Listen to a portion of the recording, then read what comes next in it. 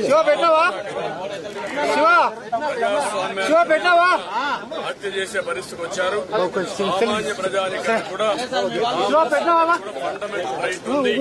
ఎందుకు అరెస్ట్ చేశారు చెప్పాలని భావిస్తుంది నేను రామారెడ్డి గారు ప్రేమా ఫేసి చూపేయమన్నాను నా తప్పేమని చెప్పమన్నాను అవన్నీ మేము చెప్పాం తర్వాత మాత్రతోనే పరిస్థితి వచ్చారు రాత్రి వచ్చిన వాళ్ళు ఇప్పటికీ దేని వల్ల ఏ తప్పు చేశారో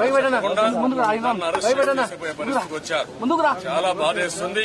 ప్రజలందరికీ విజ్ఞప్తి చేస్తున్నా కార్యకర్తలకు విజ్ఞప్తి చేస్తున్నా నాలుగున్నర సంవత్సరాలుగా నేను పోరాడుతూనే ఉన్నా ప్రజా సమస్యల మీద పోరాడుతున్నా.